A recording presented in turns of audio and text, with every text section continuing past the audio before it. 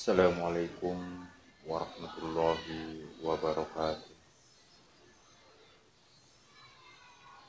Alhamdulillah Alhamdulillahi Rabbis samawati wa Rabbil ardi Rabbil alamin Ashadu an la ilaha illallah La na'budu illa iyyahu muhlisina lahuddin Wa ashadu anna muhammadan abduhu wa rasuluhul muayyadu bil qur'anil azim Allahumma salli ala nabiyyika wa rasulikal karimi Muhammadin zi hulukin azim wa salli wa sallim wa barik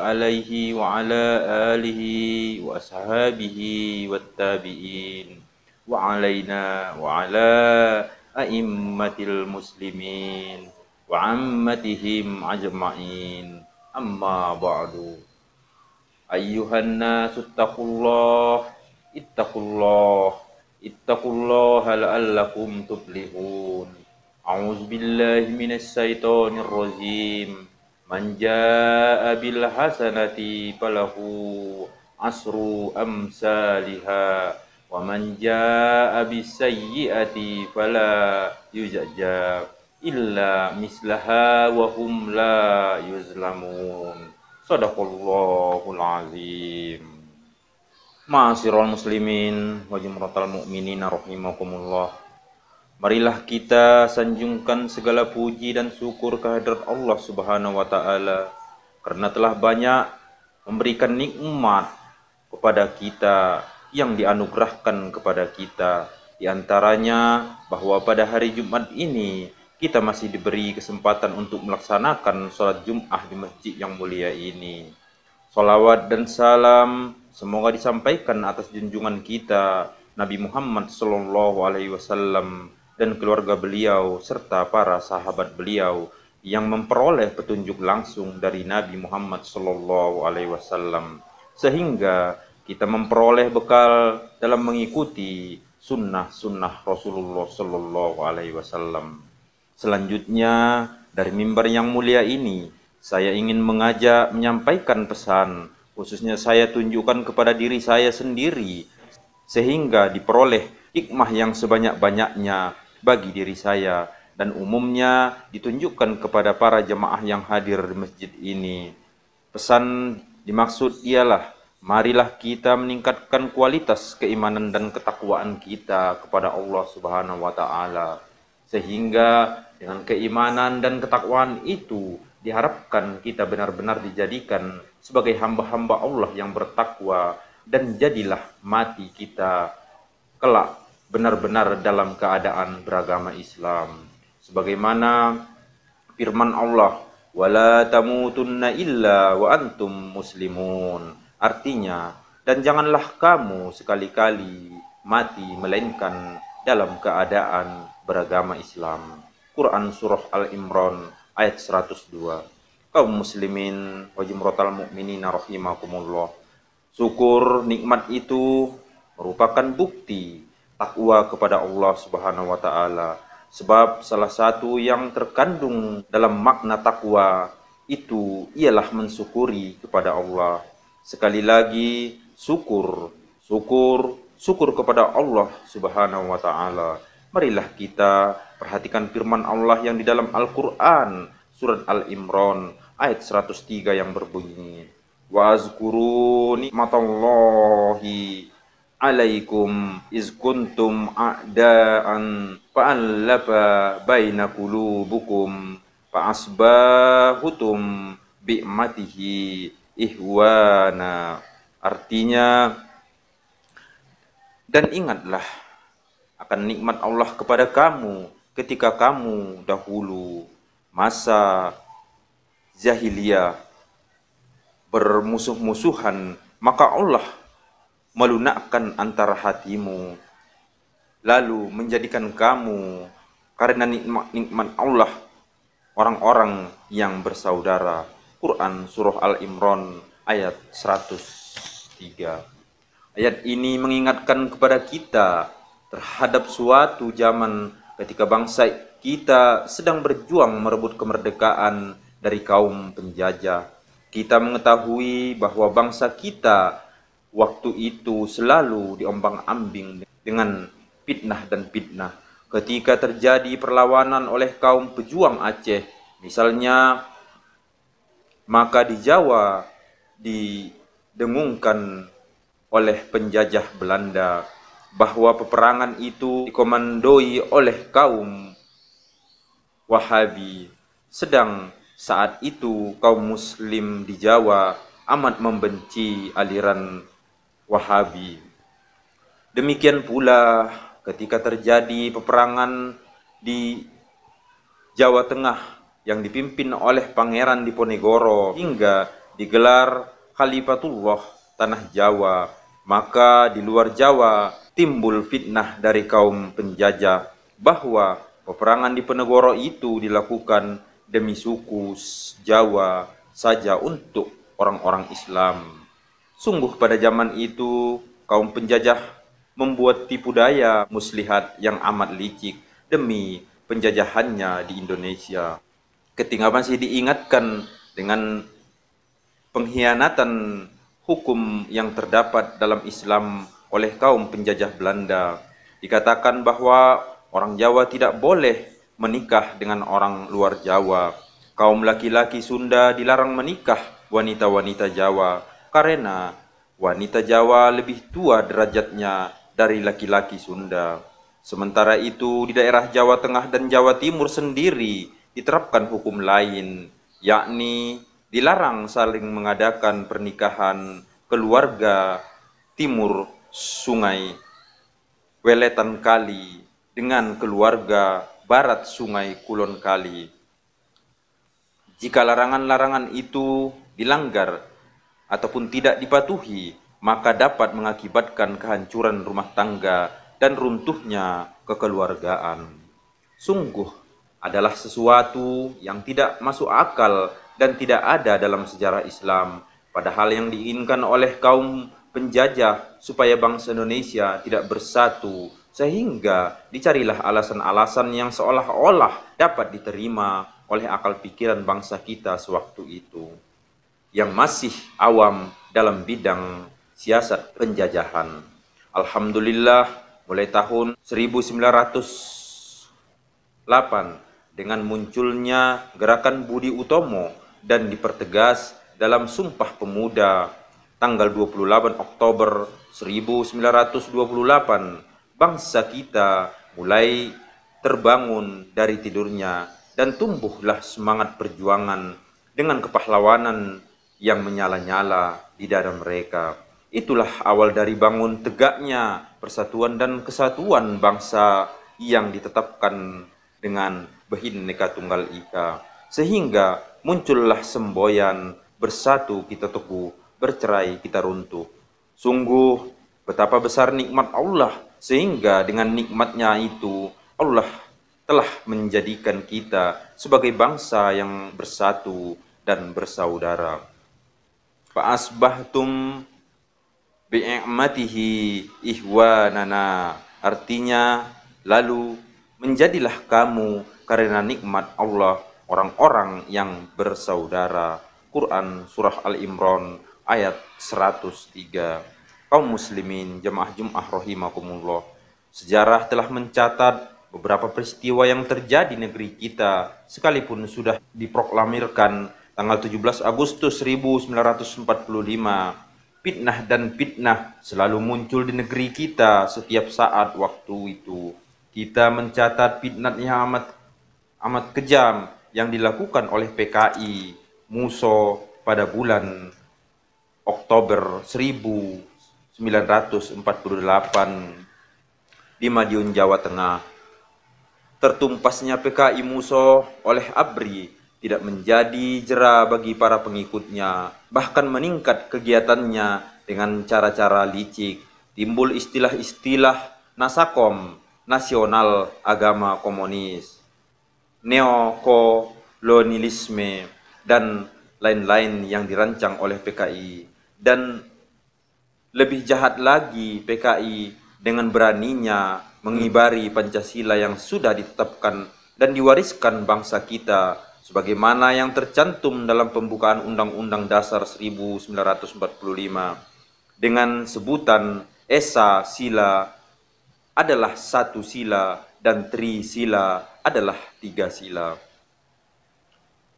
Sungguh betapa kejamnya PKI yang ingin menggantikan dasar negara Pancasila yang digali dari bumi pertiwi oleh putra-putra bangsa Indonesia dengan dasar lain yaitu dasar komunis yang anti Tuhan.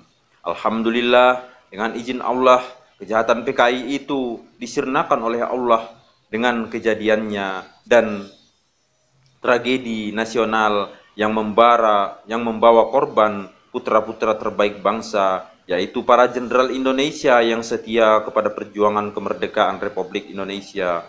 Mereka gugur dengan mengenaskan di lubang buaya sebagai akibat dari kebiadaban PKI dan antek-anteknya jika tahun 1948 sasaran pembunuhan di luar peri kemanusiaan oleh PKI Muso adalah para ulama, para kiai, para ustaz dan ustazah, maka sasaran pembunuhan yang dilakukan oleh PKI, Aidit dan antek-anteknya pada tanggal 30 September 1965 ataupun lebih dikenal dengan sebutan G30 SPKI adalah para jenderal yang cara dimasukkan ke lubang sumur tua yang terletak di lubang buaya Jakarta.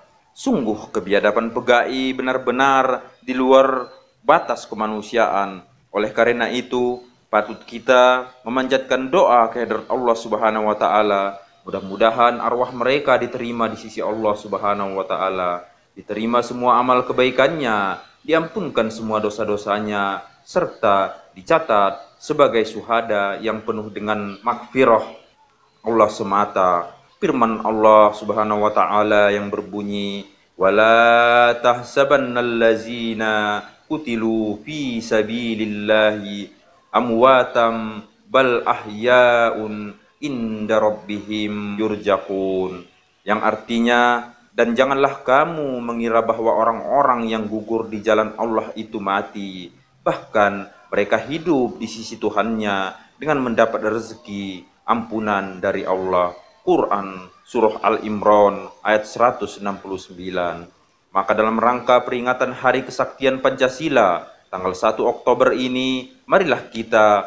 merenung ulang betapa kemelaratan sudah kita alami waktu masa penjajahan, kepedihan dan duka cita kita rasakan dari kebiadaban G30 SPKI tanggal 30 September 1965. Karena itu, marilah kita perkokoh persatuan dan kesatuan bangsa dan kita pertebal keimanan ketakwaan kita kepada Allah seraya menyatakan syukur kita kepada Allah yang telah memberikan kekuatan kepada kita, seluruh bangsa Indonesia, untuk mengusir penjajah dari bumi pertiwi, dan pernyataan syukur kita kepada Allah yang telah melepaskan kita, seluruh bangsa Indonesia, dari bahaya perpecahan yang dilakukan oleh PKI dan antek-anteknya, sehingga terhindar kita dari mara bahaya yang akan menimpa bangsa dan negara kita. Alhamdulillah, dengan izin Allah bangsa kita tetap satu dasar negara kita Pancasila tetap tegak pembangunan bangsa dan negara tetap kita lanjutkan kesemuanya itu wajib kita syukuri kepada Allah Subhanahu wa taala. Semoga Allah memberikan berkahnya dan nikmatnya kepada bangsa kita. Amin amin ya rabbal alamin. Sungguh benar firman Allah di dalam Al-Quran surat Al-Imran ayat 103 yang berbunyi wa kuntum ala ratim minan nari wa anqazakum min hazalika yubayyinullahu lakum ayatihi la'allakum tahtadun artinya dan kamu telah berada di tepi jurang neraka lalu Allah menyelamatkan daripadanya. Demikianlah Allah menerangkan ayat-ayatnya kepada kamu agar kamu mendapat petunjuk. Quran Surah Al-Imran ayat 103 Sungguh Sekiranya tidak ada pertolongan Allah, maka bangsa Indonesia tentu sudah kehilangan pedoman hidup, yaitu Pancasila, sebab sudah diganti dengan komunisme, Leninisme, na'udzubillahu min zalib. Oleh karena itu, sekali lagi saya ingin mengajak, marilah kita bersyukur kepada Allah yang telah menyelamatkan bangsa kita dari jurang kehancuran yang melanda negeri kita. Alhamdulillah, kita tetap utuh dan kokoh sebagai bangsa yang bersatu, berdaulat, adil dan makmur berdasarkan Pancasila dan Undang-Undang Dasar 1945.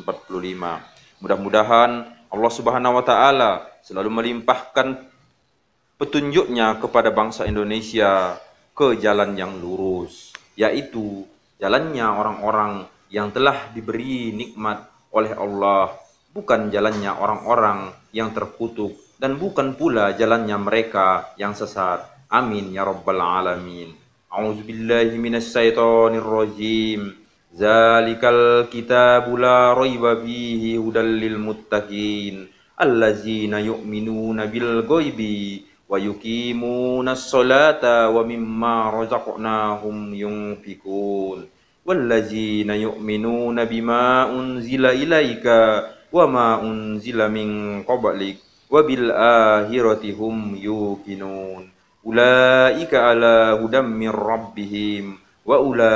humul artinya Al-Qur'an ini tidak ada keraguan di dalamnya petunjuk bagi orang-orang yang bertakwa yaitu mereka yang beriman kepada yang gaib mereka mendirikan salat dan menafkahkan sebagian harta yang kami rezekikan kepada mereka. Dan mereka beriman kepada Al-Qur'an yang telah diturunkan kepadamu dan kitab-kitab yang diturunkan sebelum sebelummu. Serta mereka yakin akan datangnya hari akhir mereka itulah orang-orang yang mendapat petunjuk dari Tuhannya dan mereka itulah orang-orang yang beruntung. Quran surah Al-Baqarah ayat 2 sampai dengan 5 Barakallahu walakum fil Qur'anil azim wa nafa'ni wa iya fihi minal ayati wa zikril hakim. Wa taqabbala minni wa minkum tilawatahu innahu wa huwas samiul alim. Wa qalu qawli hadza fastaghfirullahal azim li wa lakum wa lisairil muslimin wal muslimat wal mu'minin wal mu'minat. Fastaghfiru innahu wa huwal ghafurur rahim. Allahumma salli ala sayyidina Muhammad wa ala ali sayyidina Muhammad Alhamdulillah Alhamdulillah hamdan kasiran kama amar أشهد أن لا إله إلا الله وحده لا شريك له. إرغاما لمن جهد وكفر. وأشهد أن محمدا عبده ورسوله. سيد الخلائق والبشر. اللهم صل على سيدنا ومولانا محمد بالشفاعة يوم المحشر. اللهم صل وسلم وبارك عليه وعلى آله وصحبه واتصلت عين بنظر.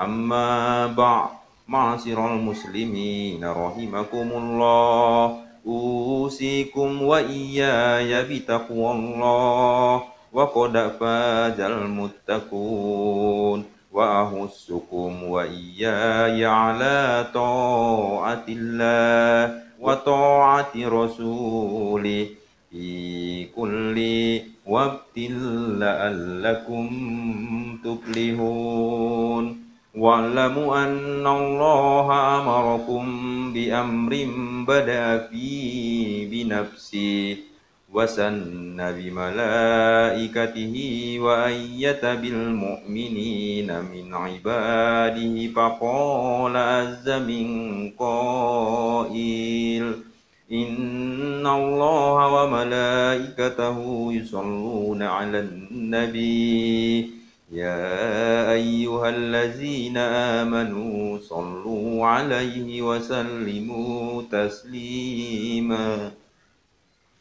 اللهم صل وسلم وبارك على سيدنا محمد وعلى آل سيدنا محمد. كما صليت وسلمت على سيدنا إبراهيم. وعلى آل سيدنا إبراهيم في العالمين إنك حميد مجيد. اللهم اغفر للمسلمين والمسلمات والمؤمنين والمؤمنات الأحياء منهم والأموات. ربنا اغفر لنا ولإخواننا الذين سبقونا بالإيمان. ولا تجعل في قلوبنا إلا الذين آمنوا ربنا إنك رؤوف رحيم ربنا لا تجع قلوبنا بعد إذ هديتنا وهب لنا من لدنك رحمة إنك أنت الوهاب ربنا هب لنا من أزواجنا وذريتنا قرة أعين واجعلنا للمتقين إماما. ربنا آتنا من لدنك رحمة وهيئ لنا من عم من أمرنا رشدا. ربنا آتنا في الدنيا حسنة وفي الآخرة حسنة وقنا عذاب النار. walhamdulillahi rabbil alamin.